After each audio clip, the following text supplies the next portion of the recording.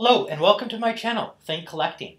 Today I want to go over a few LEGO sets that have recently caught my eye as I was going through my LEGO room the other day. And the reason they caught my eye is because they've just kind of like gone up in value quite a bit. So I want you guys to be on the lookout for a couple of the sets that I'm going to show you today. I'm going to go through about, I'd say about 10 sets from the Chronicles of Yoda back in 2013. So uh, back then, you know, a lot of people told me, they said, you know what, don't bother wasting your time buying these sets because it's just not worth it. You know, it's like they make so many of them and, you know, it's like they're always going to be available. But, like, from what I've noticed now, it's like they seem to be in very short demand, especially if you have, like, sealed ones, which all mine are. And I always keep all my Legos sealed because I collect and sell, so that's what I kind of do. So yeah, I'm gonna go over a couple that I found in my storage room that are kind of, I'm on the fence of whether I'm gonna be selling them or keeping them and having them maybe go up still in value. Um, so the reason I think they're going up in value is due kind of towards like that Man- the Mandalorian that's coming out soon. The new season's going to be coming out pretty quick. And, you know, I think there's some characters in these Lego sets that are going to be showing up in the show, so that's kind of cool. And everybody wants to have the characters that are in the show. That's just how it is. So I'm going to go through a couple of these sets, and all I want to show you is how, how much they're going for on the secondary market right now, used and new.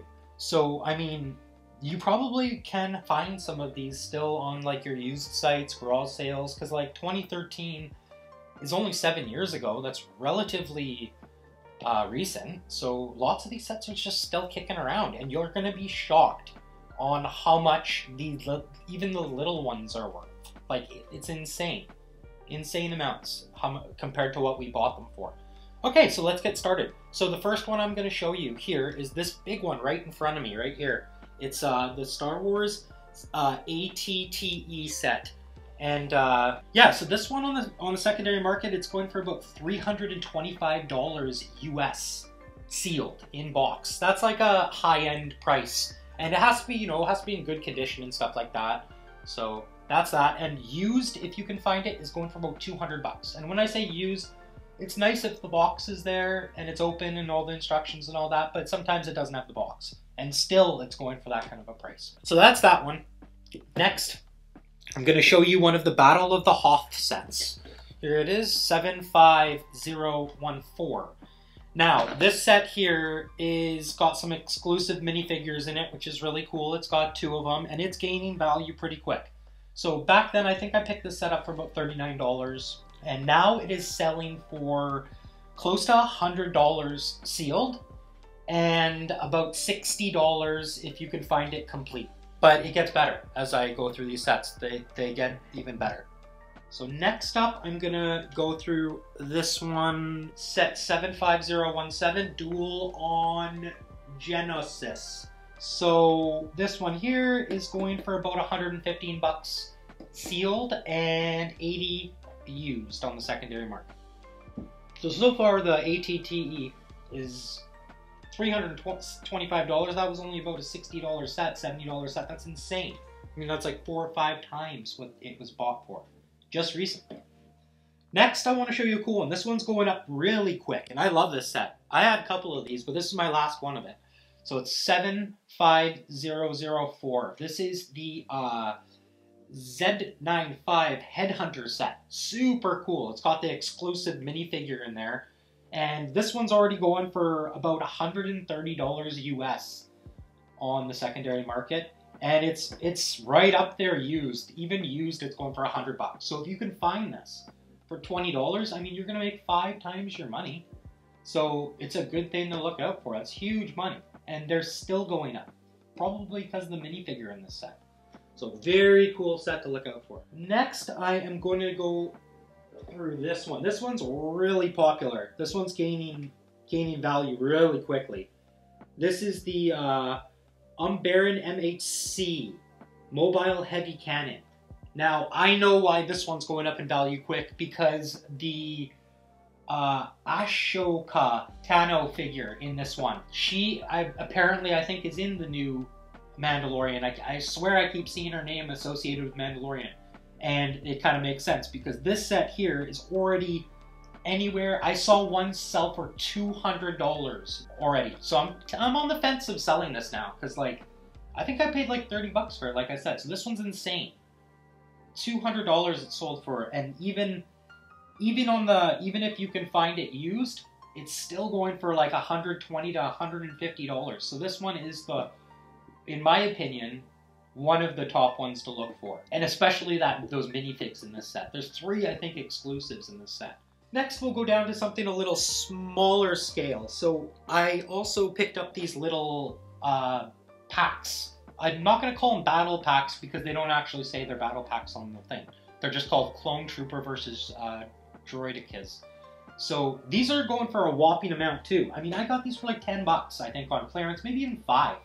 And these are already going for about $60 US just for this little tiny battle pack, this little tiny pack, 60 bucks. And if you could find them used, they're going for like 40. So all, be on the lookout for all these little battle packs. They're just skyrocketing in value. Sealed if you can find them. I love when they're sealed. Next is another battle pack. Same kind of thing. Same battle pack. It's uh, the 75001. And these are going for about 40 bucks sealed. About 40 bucks used as well. So they're these are on fire right now. You want to buy those. Couple more to go through. Next are a couple mid-scale ones. Um, first one we're going to go through is the Mandalorian Speeder 75022. This one's going for about $110 right now on the secondary market and used about 80. And I, I'm guessing the reason it's going for so much well, it's got an awesome Darth Maul figure and two cool Mandalorian figures in it. And I mean, Mandalorian is hot right now. Another kind of Mandalorian set. Not going to talk too much about this one, but about 50 bucks new, 60, sorry, 50 bucks, 60 bucks new, and secondary market about 40 bucks. Now, this one here is one that you got to be looking for.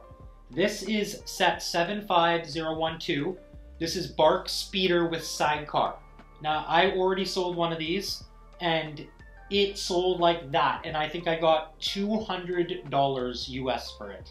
Insane. So look at how small this thing is. It's only 226 pieces. Now the reason this one's selling, it's got some crazy exclusive minifigures. It's got that Obi-Wan and the Captain Rex. So I'm hanging on to this one. I don't think I'm getting rid of this. This seems like it just keeps going up and up. And like I said, this has already hit prices of even up to $250 and even used it's going for about $175 so this is the one that is eh, when you're looking for like used legos if they got something like this in there you want to be buying it. It's worth a ton of money. And it's an awesome collectible. So yeah be on the lookout for that. And the last the last one i'm going to talk about is a lego from uh, it's actually from 20, the 2012 line. Nothing to do with the yoda chronicles line I just wanted you guys to be also aware that a lot of battle pack, a lot of these battle packs right now, these clone battle packs are just rocketing in value. This one here, some have already sold for almost a hundred dollars sealed, depending on condition of the box and stuff like that, and used about 50 bucks, 60 bucks. So please be on the lookout for these. If you can find them sealed, people sometimes sell them for next to nothing. And you never know, you might even find them still in some old store or something. I don't know.